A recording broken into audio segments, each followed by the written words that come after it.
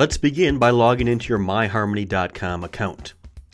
You are first going to add your PlayStation 3 as a device.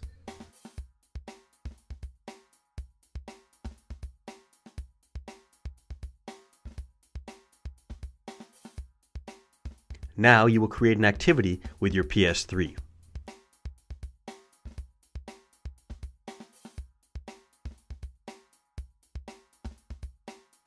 You will complete your input activity on myharmony.com by syncing to your remote.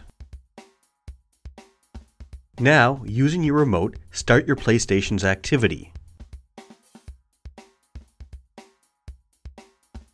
When it starts up, you'll be given a tutorial on how to pair your remote and PS3 together. Now, using your PS3 controller, turn on your PS3 and follow the directions on your remote control.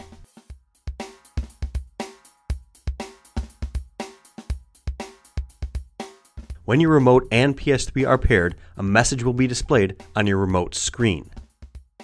Now you are ready to use your Harmony Ultimate to control your PS3.